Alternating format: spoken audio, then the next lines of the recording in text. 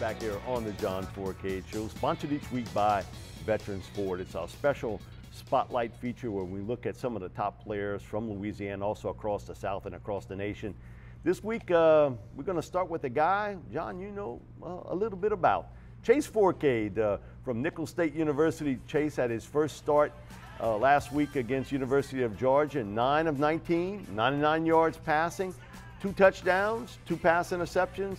Johnny missed on the deep pass. I know if that was one pass he wanted back, that would have been it. But man, he showed great poise for a freshman quarterback. And man, I don't know where they get these announcers from, but they didn't even realize that Chase wasn't going to start. Everybody, I know you and I knew about it, that he was going to start in this game. Right off the bat, he throws a little bit high. Great catch by the receiver. Well, the way the game started out, you know, his first college pass ever against Georgia Bulldog, he threw a deep go route. He threw a uh, throwback at pick, but he came back. He hung in there. And this is the one I right think he here, would want right. back. He, he, he told me Oh. after that he had to speed it up a little bit because the guy rushed him in there, hit him in the waist area. But I like the run he did right here, a little quarterback draw. They're not afraid to run. He's not afraid to run. I tried telling people that. Even though he's six foot 190, he's capable of running 4 640. He's able to run the football. He's a smart runner. It's a good play here. Uh, the, the young freshman uh, running back from Yep. uh, Nicholls State scores a touchdown.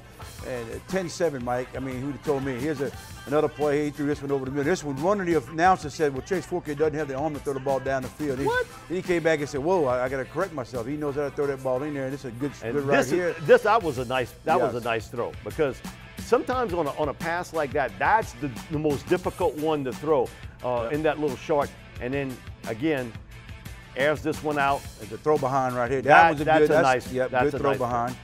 And uh, he's learning that this is a good play here, the little run option, and he throws it right here. That's what they we thought they were going to see a lot more of that. Don't even ran one time in the whole game with him, but hey, it's his first collegiate And touchdown. that gave Nicholls the lead, The lead. at that point, 14-13. And I'll guarantee you, a lot of people watching other games switched it at Yep, that and moment. Just a good little fade route in the end zone right here for his second touchdown of the game. And I'm, I'm very proud of him. And the thing I liked about him, Mike, if you watched him the first play of the game to the last play of the game, there's no change, Change in, it. in it. He doesn't get, he doesn't let things bother him, and that's what you want in a quarterback. He didn't let the bad things get to him. The two picks he threw didn't let it get to him. Uh, I think too the Nicholls receivers, and, and I know Tim has told me, Mike, listen, I got a good set of Yes, receivers. I got to calm them down because I know this is the first game, but I think I got a really good set of receivers that can get up, catch the football, and help chase out, run after catch. Well, at least they know now they got a quarterback. They haven't had one in the last few years who can throw the football down the field and throw all the passes. So now these receivers are all excited about it. And the kid's a freshman. And he takes over this team, and, and from what I've seen and what I hear, uh, they all love him. And uh, you know, I know he's my nephew, and uh, I, I'm looking forward to seeing him for, for three more years after. I mean, I'm going to see him this weekend. I mean, that's Right. how I am. Well, I got to say one thing: the team up north right now, about an hour ride from here, is not very happy about the fact that they don't have a quarterback, and somebody in Thibodaux does. Yeah. The other thing too is the fact that, you know, you look at how Nicholls has recruited. Yes. And, and, and I wrote this a couple weeks back. I think Chase is going to end up being the best player that they have got at Nicholls since Lardarius Webb. You did right there. Because uh, the impact he's going to have not only on his play on the field, his ability to help other guys go into Nicholls that legitimately, hey, we go into a team that's going to throw the football. Now Webb, he, he tilted the field. Yep. I think in time, Chase is going to have that sort of impact for Nicholls Mike, State. we got a call this weekend after the game was over with from a player's dad who talked about his son who's an SEC player who wants to transfer out after this season to go to Nicholls. He thinks that they got a they got a program now ready to roll at Nicholls, and he's going to transfer out of the SEC. He's not playing much in the SEC, but he wants to start playing more. He feels he got a shot, shot to go to Nicholls because he thinks Tim Rebowe, with my nephew, is going to bring a, produ- a productive team there. But there's a little Rummel connection at Nicholls State, right? Yes, Tell is. everybody a little bit about that one. Well, you got, you know, Jay Roth was there. Uh, my sister-in-law went to school there, and I think that's why Chase went to Nicholas because it showed Jill some love.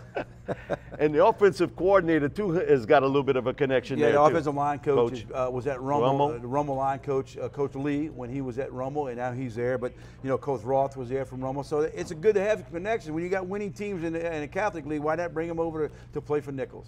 I do know one thing, and talking to some people at Nicholls State this week, man, that ticket, their ticket sales really uh, rocketed up pretty good, and you can see that on uh, SportsNola.com. It'll be streamlined. Yes, it right is. here. Nicholls State Incarnate Word, uh, team from out in Texas, uh, joining the conference. uh, sponsored by the Sports Medicine Center of Thibodaux Regional Medical Center. Live Saturday at 3 p.m. Now bring your ponchos. Oh, yeah, it might be uh, raining. Because listen, we have not had one day without rain on the Bahia, and I'll guarantee you that they'll, it'll be some rainy weather there. I want to see how they handle that because that was something. Uh, we had Tim on, on Monday, and he says one of the things, Mike, I don't want to do is to have Georgia beat us twice. I want to get it out of their right, heads right. of what happened in Georgia and get them ready for an incontinent word and and and roll with it at that. And I think he said even though we have a young team, they they're understanding that. I think the, the, the, the Georgia game's done. I think they know what we have here, what we're building on. That helps build them for what they got going forward here because nobody's picking them in the Southland Conference. They got a team right now. Everybody basically picked them last Yep, or, well, or second to last in the Southland games, Conference. baby. You got to play the game. So Tim's got a great thing doing. Congratulations to Chase Fourcade and again the Nicholls State Colonels. And uh, it wasn't a win, but I think it was the most significant game ever played by the Colonels and losing 26-24 to they Georgia. covered the spread though. Boy, did they? Man, I, Oh, I wish I'd have had some of that action. I got More 53. the John Fourcade Show, sponsored each week by Veterans Ford.